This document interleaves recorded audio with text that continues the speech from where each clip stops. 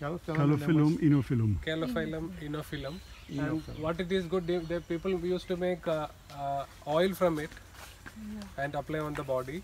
But what is very good is the eye infections. This you can boil this, make a herbal tea or something with these leaves, and that uh, herbal tea you can use for washing your eye when there is conjunctivitis or different kinds of infection. This is very very helpful. Very helpful. Yeah, not it's so much, not so much seen. Ah, not so much seen, but here it grows like anything.